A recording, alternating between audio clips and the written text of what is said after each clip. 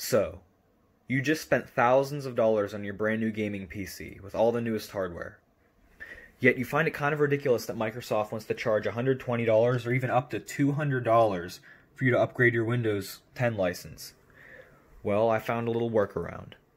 See this little uh, activate Windows thing stuck in the bottom right corner of the screen? You can't get rid of that. It's not going anywhere. So, I found a little workaround. So what you're going to want to do is connect a second display. Press oh, my fingers aren't long enough to do this. Press the Windows key plus P.